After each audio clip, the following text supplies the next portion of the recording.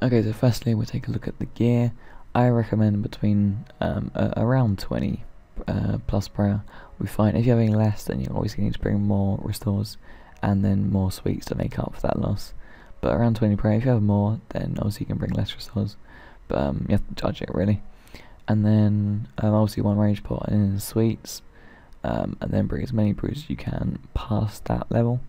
If you're as low as 70 range, I'd recommend bringing maybe 16 or 17 restores and stacking up on more sweets because the lack of range levels. But anywhere between that is the judgment really. So between 15 and 17 restores.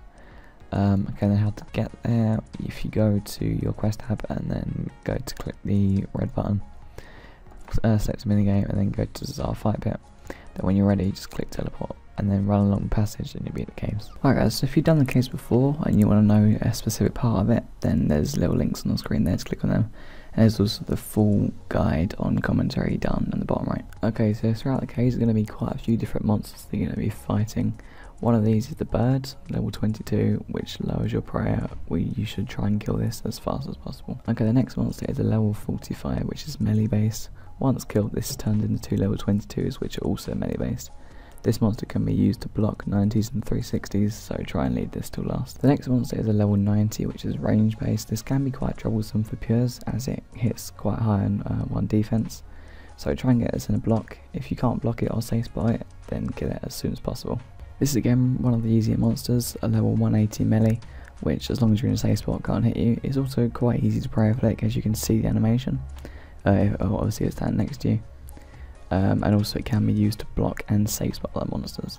Okay, so this is the second highest monster in the caves. You shouldn't really worry about this because obviously you're going to be protecting mage. Try and avoid pray flicking because um, its attacks are quite out of time uh, to the animation. You have to rely on sounds, which I wouldn't suggest. Um, but yeah, don't worry about this monster. It's only when there's a range, you have to kill the range first or get in the block.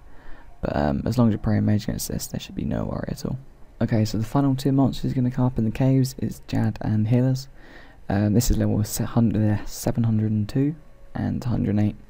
But um, the only thing you got to worry about Jad is looking at his feet and trying to rely on the sounds if you can't see his feet.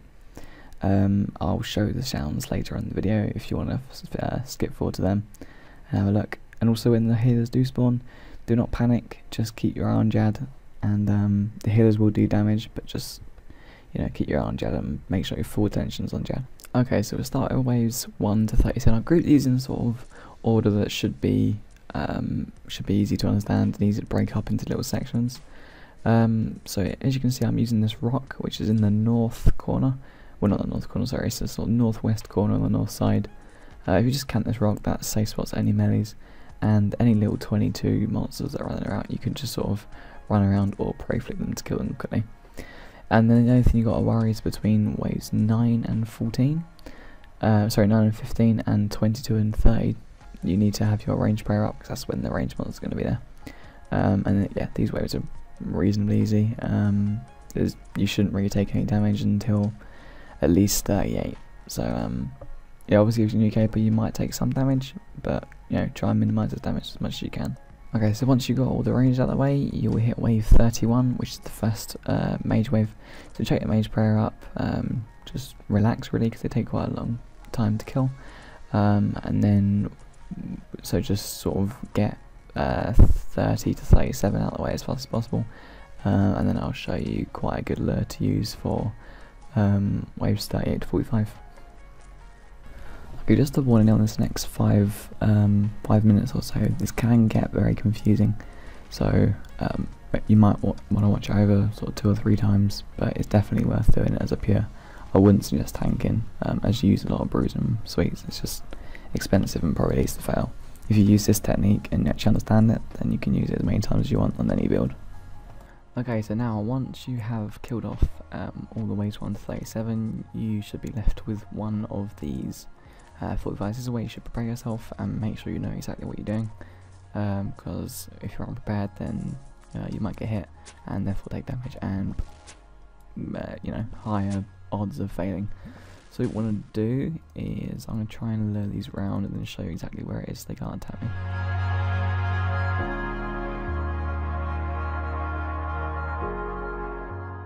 I just remember it as an aeroplane. So as you can see, there's a little aeroplane sort of on the floor.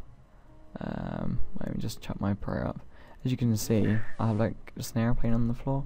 It has uh, two little wings flying out the side, and then the uh, the top and tail on the on the bottom. So you want to stand completely here, and uh, I don't just kill these fucking things. Just piss me off now.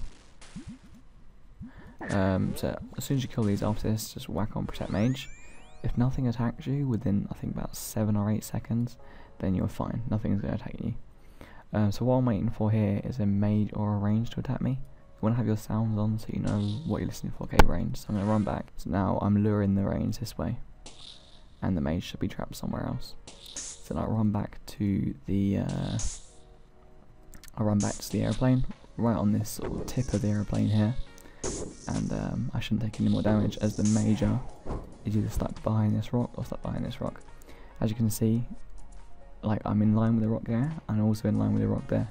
So I'm pretty much I'm in a safe spot. So if you can sort of draw a line on your map like this and then all this space, uh, sorry, this space just here, this little box just below me is all the safe spot.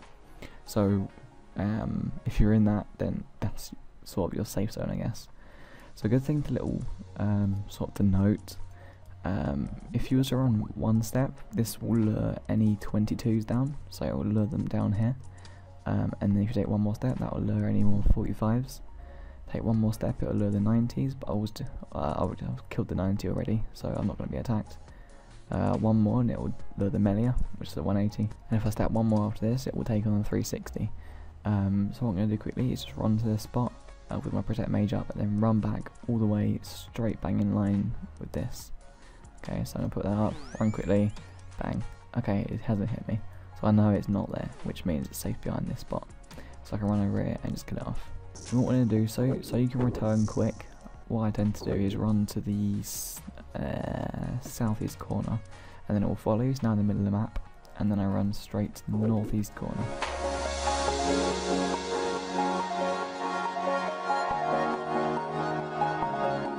Okay, so I know nothing's coming. That's one wave 40, I know there's two 20, oh, okay, there's a 22 that's just come out. So I'm going to run into my little safe corner and just kill it off so I don't take any damage. Right, so that's dead. Hopefully there's not another one. So I'm going to test if there's a 22 up there. Nothing down there. Um, and then I'm going to test the ranger. No, it's not there either. So then I'm going to test the major. Yeah, okay, so the major's up there.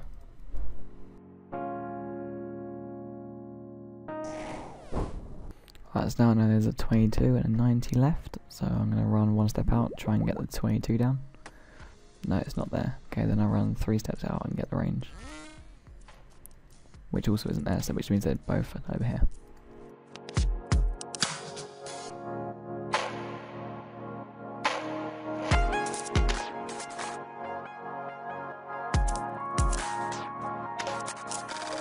Over. I'm gonna pre mage. Three, four, five, six, seven, eight. Okay, so there's a mage. I'm gonna run into the corner. Bring it near me so I can kill it while still standing on the airplane. So it just hit me for the third time. Stand back on my airplane and kill it.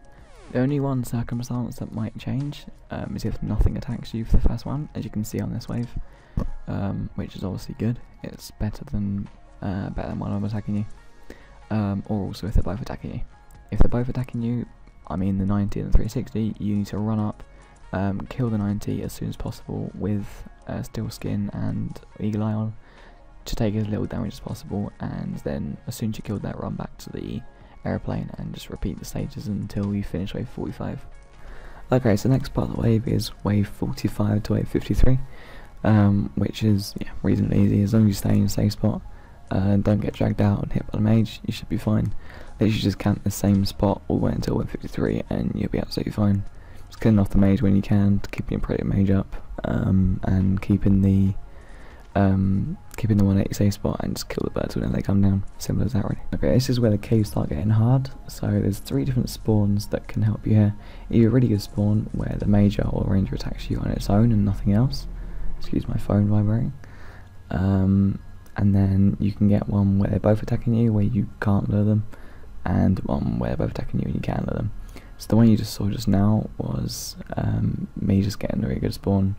This one on screen now is where they're attacking me, so I have to kill the ranger as fast as possible. And the next one, as soon as I see them both attacking me, but they're all sort of lined up, I run straight south around the rock and then hide behind here, and then just put my protect whatever up, um, whichever one's attacking me.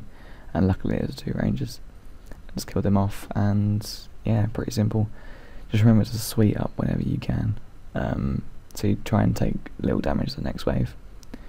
So that's pretty much it, and I will now show you how to do the next two waves plus Jad. Alright, so wave 61 is easy really, two melees and mage, pray, rain, uh, pray mage, sorry, and uh, kill the mage as fast as possible and say sort two melees. If one does spawn next to you, if one melee does spawn next to you, just run straight south into the rock that I used um, in the previous clip and say spray from there. That should drop them both. Um, so I'll show you wave 62 next. Again, wave 62 is more than easy enough. Rack up pro mage uh, and kill them both. When you got one left, run uh, sort of towards the northeast corner and um, it'll lure over there. And then when you're over there, just um, kill off that, uh, kill off the one that's left, and then run back to the northeast corner with your parade up. Which for Jad, I will show you right now. Okay, so once you killed off the two majors, you need to run to the northeast corner with your protect range, your protect, uh, sorry, your protect range, your plus 15% range. For the first um, hit, you need to sort of focus on the sounds. So I'll show you the two sounds of Jad just now.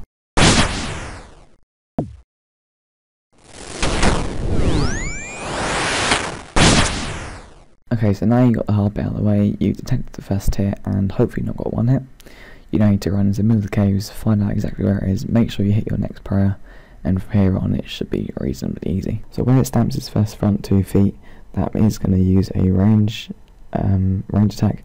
Then when it lifts its two feet up in the air, that means it's going to use the mage attack. Okay, so now on to arguably the hardest part of the caves, the healers. Um, so once you get to the healers, which is when Jad's at half HP, you need to fully focus on Jad, but still attacking all the healers.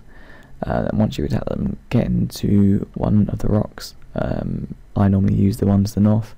Either, depending on where Jad is now, either kill the healers and go and kill Jad on its own, or lead the healers lined up and run straight through Jad, um, but in between one of his attacks so you don't get melee attack. Then once you've either killed all the healers or ran straight through Jad, just carry on attacking Jad and hopefully you're done. Alright guys, so thanks for watching my guide. As you're probably seeing on the screen now, I have done this so many times.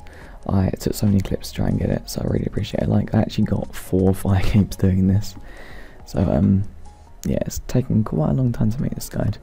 Um, so if it helped you at all, please give it a like, share it with your friends, etc. If you have any comments or criticisms or any way it can make it better, leave it down in the comments. Um, also, if you have any questions, then please do leave it down in the comments. I'll try and get back to you. And yeah, thanks for watching, and I'll probably see you in a few days for our PK video.